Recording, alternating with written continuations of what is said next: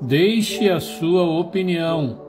Esse vídeo gerou muita discussão porque os buracos da sapata foram abertas e as valetas foram cavadas, mas não foi feito forma de madeira, né? O concreto estava sendo largado diretamente em contato com a terra. Eu não vejo nada de problema nisso.